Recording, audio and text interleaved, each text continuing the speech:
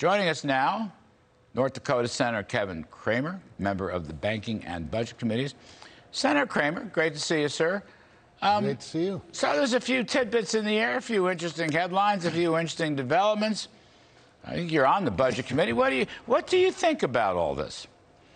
Well, Larry, first of all, I think having listened to your monologue, that about all I could add to this is to screw it up. So I'll try my best not to, because you said it beautifully. But none of this surprises me for a couple of reasons. One, I know Kyrsten Sinema and Joe Manchin really quite well. I consider them close friends, and they've been very consistent. And in fact, they've been very consistent throughout their careers.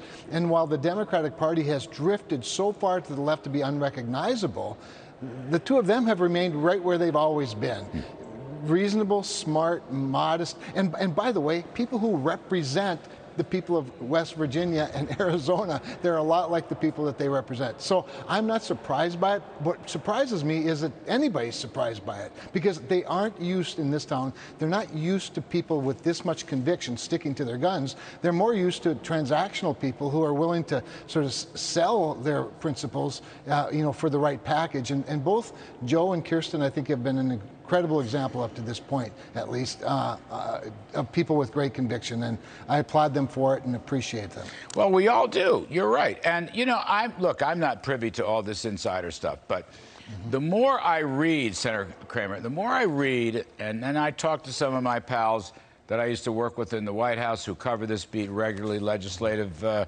type people. Mm-hmm. I think they've been telling this to Biden and the other leaders a lot of the leaders in Biden just didn't want to listen. They weren't taking it seriously. And now, mm-hmm. you know, I read this stuff. I mean, it's really, it's really just jabberwock drivel. The left-wing media, Washington Post and others, well, we're going to make a deal with Manchin, and then we're just going to roll Sinema. And I scratch yeah. my, I go, or how about this? So we're going to now tax unrealized capital gains, or we're going to have a big wealth tax. And as you know, Kevin, this stuff was floated before and completely shot down. So they're going to be a trillion dollars short, even in static terms. So I just, I mean, I don't know how, now I'm starting to think this could never pass. Well, it, it's interesting, Larry, because, and, and, the only way it could pass is if they change, you know, sort of the narrative and move the goalposts. Remember, there's a big difference between paying for something and saying it doesn't cost anything, which is a narrative that I've, I've never quite understood. When the president insists this costs nothing, you know, just because they can identify a pay for. The other thing is, as you pointed out, there's a lot of budget gimmicks that you can use that embed the the, the policies, which by the way are worse than the massive price tag, because policies are forever. Yeah. As you know, it is very difficult to turn back a, a, welfare program or an entitlement program that gets embedded, if even for a short time. So you can mess with the price tag. But but these these tax policies, I mean, you, you mentioned the uh, unrealized gains. That that's their latest effort at trying to disguise this as something other than a tax increase. But uh, the other thing I think we have to remember that's really important in our exceptional system, and while these two are certainly at the forefront of saving America, 50 Republican senators have never flinched, blinked, or stepped back. We are united in our opposition. We need everybody on board. But the real key, Larry, is that the American people are experiencing the ramifications of really bad public policy coming out of this White House. This inflation is real. It's not transitory. It's big. Um, you say what you want. I don't care how many times the, the Secretary of Energy says presidents don't set gasoline prices. No, but when they cut production in half, they definitely they definitely manipulate the markets um, you know, open borders, uh, this supply chain problem. This is squarely in the hands of, of Joe Biden. It, was he, him and his, his all this free money you know, the first two trillion, remember from March, not one penny of that's paid for. All of that's borrowed uh, on the backs of future generations.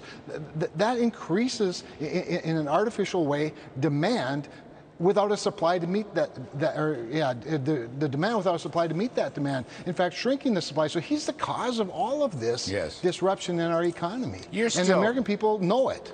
You're still 2 million barrels a day short right. on the oil right. front, right? We were doing 13 million right. barrels a day plus pre-pandemic.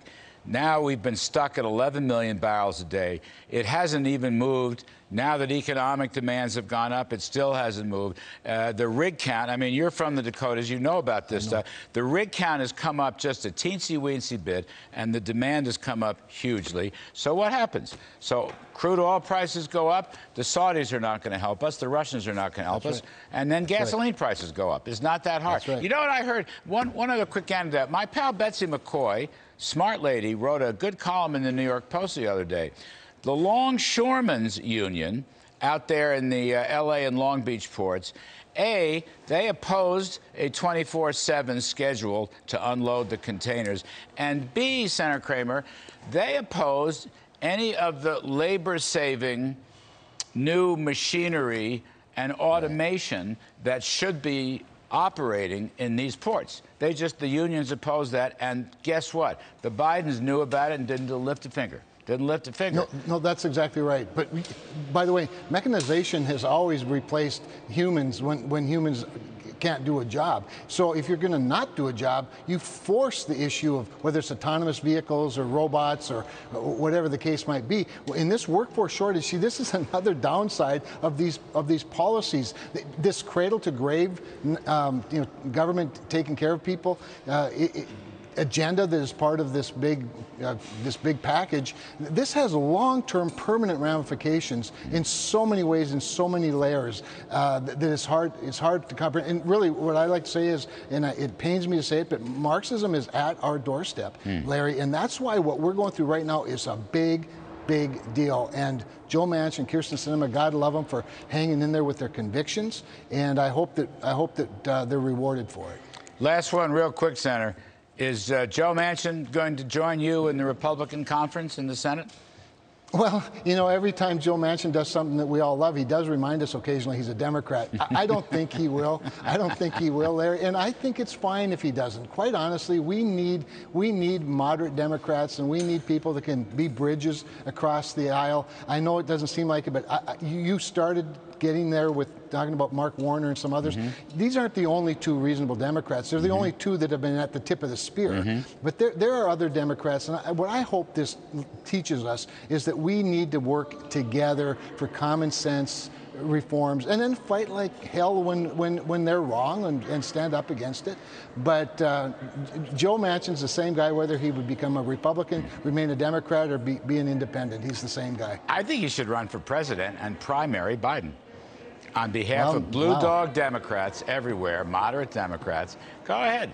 You should do it. You might be surprised how well that works. Anyway, we got to jump. Uh, Congressman uh, Senator Kevin Cramer, thanks very much for your insights, sir, as always. Thank, thanks, Larry. Always a pleasure.